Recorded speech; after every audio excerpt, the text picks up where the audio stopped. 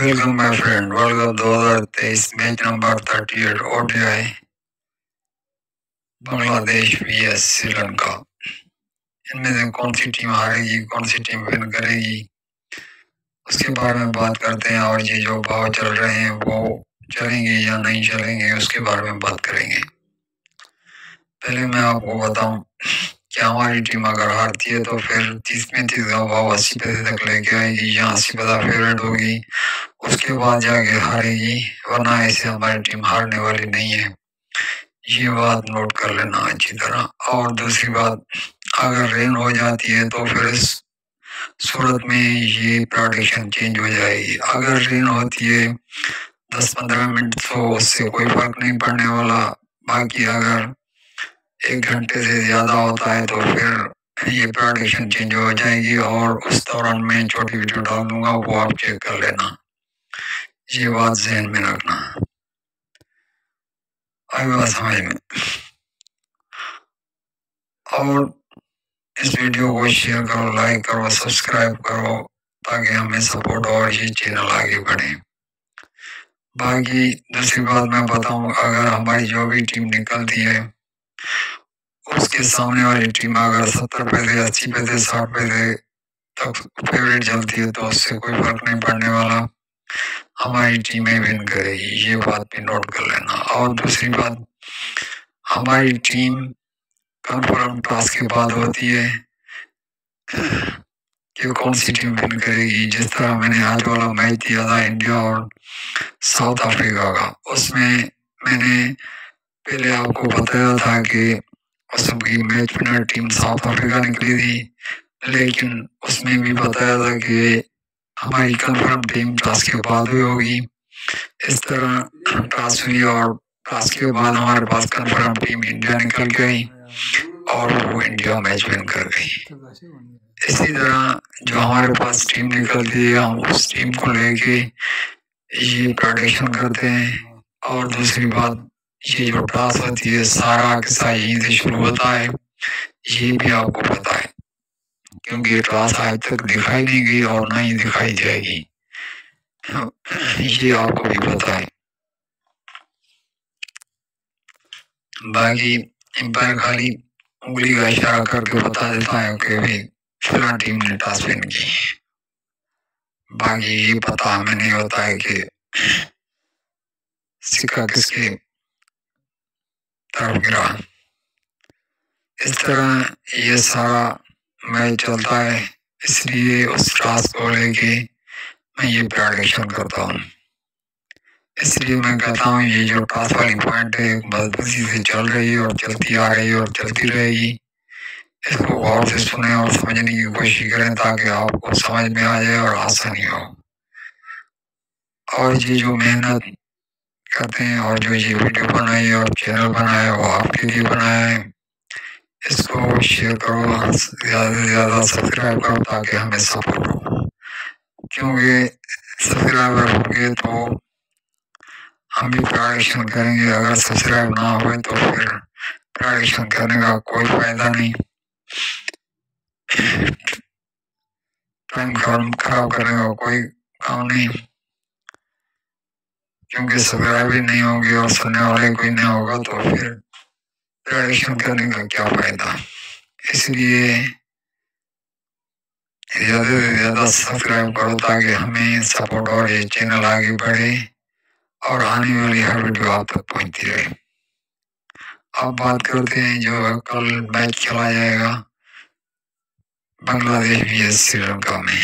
ان میں سے کون سی ٹیم ون کرے گی اور کون سی ٹیم ہارے گی؟ اس میچ کی میچ ونر ٹیم جو ہمارے پاس نکلی ہے، وہ ہے بنگلہ دیش وہ یہ ٹیم میچ ون کرے گی۔ بنگلہ دیش یہ میچ ون کرے گی۔ اگر ون کرتی ہے تو کیسے کرے گی؟ اگر ہارتی ہے تو کیسے آئے گی؟ اگر بنگلہ دیش ٹاس ون کرتی ہے، ٹاس ون کر کے فرسٹ بیٹ پہ آتی ہے تو پھر یہ بھاؤ چلیں گے، یہ بھی نوٹ کر لینا۔ اس صورت میں یہ بھاؤ بھی چلیں گے اور یہ میچ ون کر جائے گی۔ اور یہاں پہ آپ چار اوورس دیکھنا، اگر بنگلہ دیش کی دو وکٹس چار اوورس میں گر جاتی ہے یا ایک وکٹ گرتی ہے اور بھاؤ تیس پینتیس کا آ جاتا ہے تو اس صورت میں پھر بنگلہ دیش کے آنے کے چانسز ہو سکتے ہیں۔ اگر یہیں سے بھاؤ اوپر چلے گئے تو پھر بنگلہ دیش نہیں آئے گی، یہ بات نوٹ کر لینا۔ اور پھر اسی پیسے ستر پیسے تک یہ اگر فیوریٹ رہی تو اس سے کوئی فرق نہیں پڑے گا۔ بنگلہ دیشی بن کر یہ میچ یہ بات نوٹ کر لینا۔ اگر ستر اسی پیسے تک سیون کا فیوریٹ رہتی ہے تو پھر اس سے کوئی فرق نہیں پڑے گا۔ بنگلہ دیشی میچ ون کرے گی۔ اگر آ جاتی ہے سری لنکا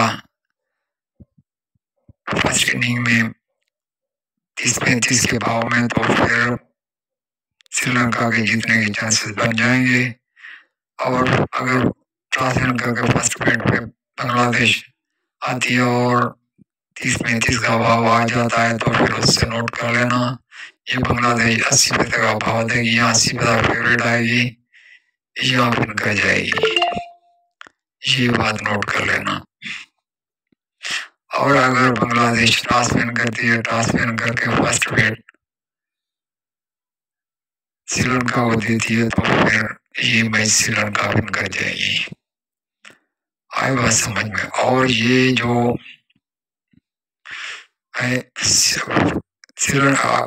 بنگلہ دیش اگر ٹاس کر کے فرسٹ ویٹ سری لنکا کو دیتی ہے تو پھر یہ میچ جے پورٹ میں بھی جا سکتا ہے جے پورٹ میں بھی جا سکتا ہے یہ میچ اگر بنگلہ دیش ٹاس کر کے سری لنکا کو یہ فرسٹ ویٹ دیتی ہے تو پھر یہ میچ جے پورٹ بن سکتا ہے۔ اسی صورت میں یہ بات نوٹ کر لینا۔ اسی لیے میں کہتا ہوں یہ جو پوائنٹ ہے تھوڑا اس کو غور سے سنیں اور سمجھنے کی کوشش کریں تاکہ آپ کو سمجھ میں آ جائے۔ یہ چلتا ہے چل رہا ہے اور چلتا رہے گا ایسی ویڈیوز میرے چینل میں پڑھیے وہ آپ دیکھ سکتے ہو کس طرح میچ ون ہوئے کس طرح نہیں ون ہوئے وہ سارا اس میں میں نے پریپریشن کی ہے وہ آپ جا کے دیکھ سکتے ہو اب بات کرتے ہیں سری لنکا کی اگر سری لنکا ٹاس وین کرتی ہے ٹاس وین کر کے فرسٹ وکٹ پہ آتی ہے تو پھر او، تو پھر یہ بھاؤ چلیں گے اس صورت میں بھی۔ یہ بات بھی نوٹ کر لینا۔ اگر سری لنکا ٹاس وین کرتی ہے ٹاس وین کر کے فرسٹ وکٹ پہ آتی ہے تو بھی اسی صورت میں یہ بھاؤ چلیں گے۔ یہ بات نوٹ کر لینا۔ اور اگر سری لنکا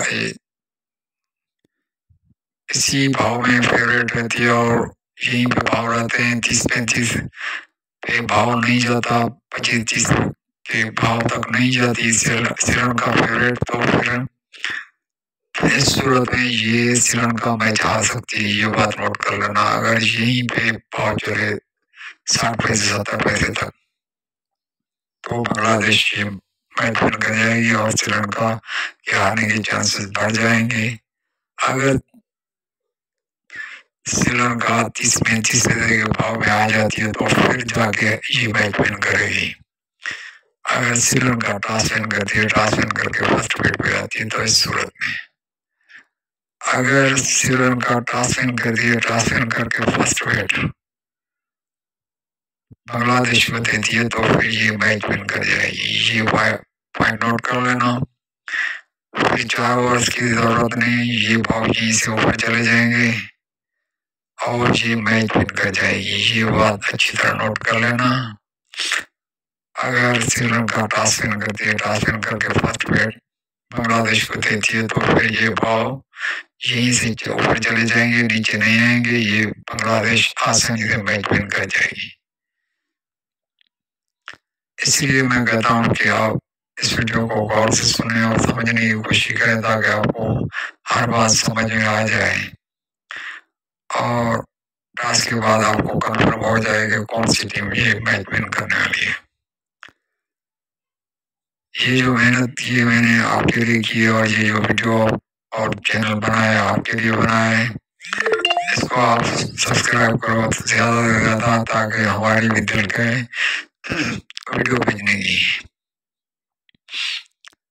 اور اگر سبسکرائب نہ ہوئے تو ظاہر بات ہے پھر ہمیں محنت کرنے کی کوئی ضرورت نہیں